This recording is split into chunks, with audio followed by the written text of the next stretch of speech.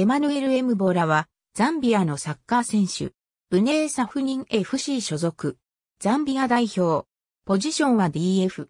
名前については、エマニュエル・エムボラ、エマヌエル・ムボラ、エマニュエル・ムボラなどの表記も見られる。2008年にマイニングレンジャーズ FC で選手となり、同年ザナコ FC に移籍。2009年1月にはアルメニアの FC ピュニクエレバンからスカウトを受けて同クラブに加入した。彼はザンビアの選手として初めて UEFA チャンピオンズリーグに出場した選手となり、その試合は2009年7月14日に行われた NK ディナモザグレブ戦であった。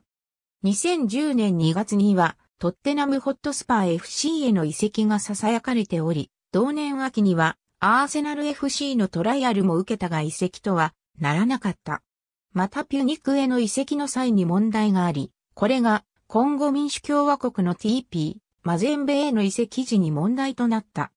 2010年9月に国際サッカー連盟はピュニクが彼と結んだプロ契約のうち彼が未成年の時のものに誤りがあったと結論付けて、ピュニクの持っていた国際移籍証明書を剥奪した。つまり、この判断によって彼はマゼンベに公式に加入した。2012年2月には1年契約でポルトガルの FC ポルトへレンタル移籍し、B チームで出場した。2013年9月2日には、イスラエルプレミアリーグのハッポエル・ラーナナ AFC にレンタル移籍した。